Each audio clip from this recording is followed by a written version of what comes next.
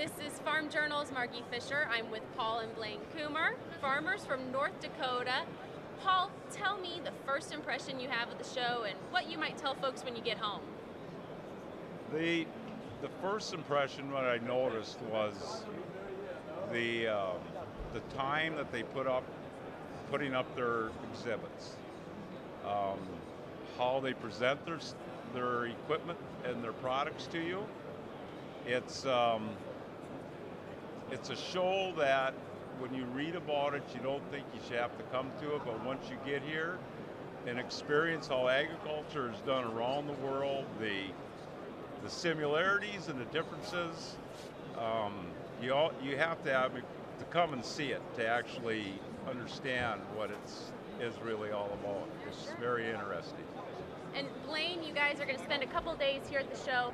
What's the thing that you've learned about that you think you want to be able to take home and put to use on the farm? Uh, one thing we thought was interesting was there was uh, some equipment that they have a uh, air pressure system that when they pull into a field, they uh, deflate the tires to a certain point to uh, lower compaction. And then when they get back on the road, they pump them back up to uh, carry the weight down the highway. And that seemed very interesting, and I think it's something we could possibly incorporate.